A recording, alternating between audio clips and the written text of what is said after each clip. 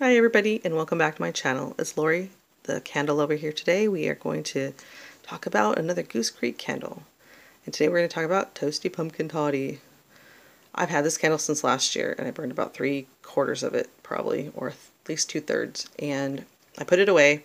I kind of had had enough of it. It was a very strong uh, spiked pumpkin note which is in the candle and I I liked it, but I wasn't burning as many last year at a time, so I didn't have as many out to rotate with. And um, I was just like, okay, I'm good. I'll take it back out later. And that's exactly what I did. I brought it out this year, and since I have other candles I'm burning, uh, rotating with, I think that I'll get less overwhelmed by the strong uh, rum and pumpkin scent on this candle this year. So I'm going to finish burning it this year uh, and just enjoy the rest of it. As you can see, um, I'm having a little bit of trouble with the wicks right now. They're kind of drowning a smidge. I did cotton ball it a little bit ago and got a little bit of the wax out, as you can see from the sloshing on the side.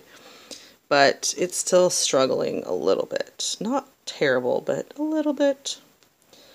Um, this candle is probably about an 8 on throw. It's very strong.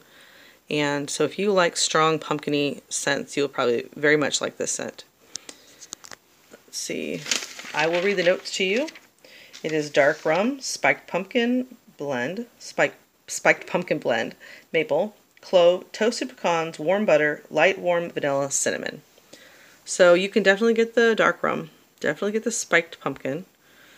I get a little bit of spices, um, and it's nice.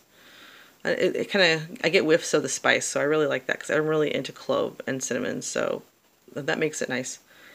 Um, the the pumpkin blend, the spiked pumpkin blend, is a little bit powerful to me. Kind of smells like apple pumpkin, appley pumpkin, spiked appley pumpkin, if that makes any sense.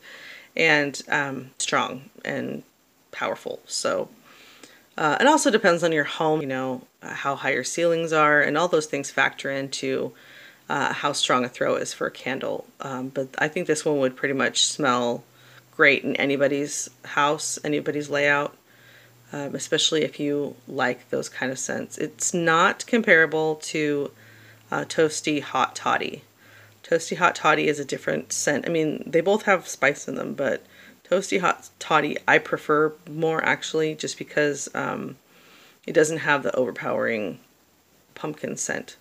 It's more mellow but has all those yummy sweet spices in it. So if I had to choose between the two, I would choose the Toasty Hot Toddy, but I know a lot of people love this this one. There's been a lot of people on the Goose Creek Facebook page that have praised this candle, and it's one of their favorites for the fall. So um, this and you're um, into kind of that spiked pumpkiny spice scent, you'll probably like this candle. And I hope this has been helpful to you and at least gets you um, in the mood for some good smelling candles and I would recommend checking out Goose Creek. They have a lot of great candles and they're having a lot of sales just about every weekend. So um, I have other Goose reviews that you can check out and I hope they're helpful to you.